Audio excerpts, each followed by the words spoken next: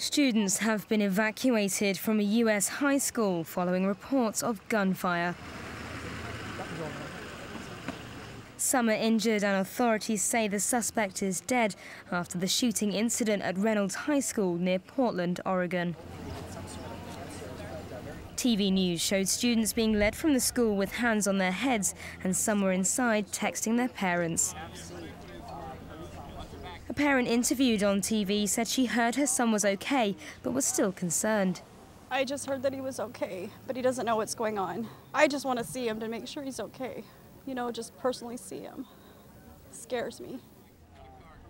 Police were called to the school shortly after 8 a.m. on Tuesday and told parents to go to a nearby car park to meet with their children as they were evacuated from the school.